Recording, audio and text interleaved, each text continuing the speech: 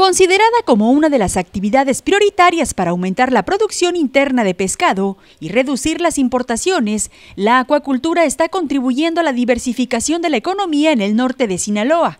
Además de la importancia en la producción, la acuacultura genera empleos directos e indirectos y se ha convertido en una importante fuente del sustento de muchas familias.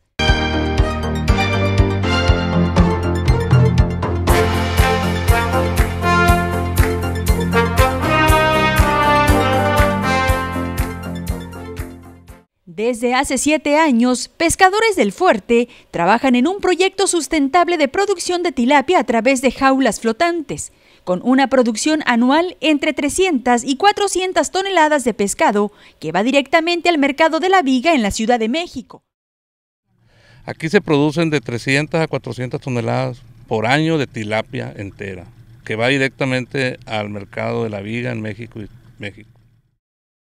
Las primeras siembras inician los primeros días del mes de abril y se pretenden establecer 120 mil alevines. En una primera etapa, la producción esperada es de 200 y 220 toneladas de tilapia.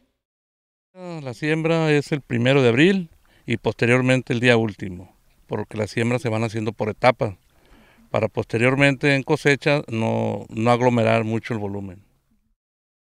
De acuerdo a la Comisión Nacional de Acuacultura y Pesca, la producción de tilapia en México aumentó significativamente en los últimos años, debido al impulso de las políticas públicas y el esfuerzo de los productores, por lo que el país genera 25% del total en América Latina.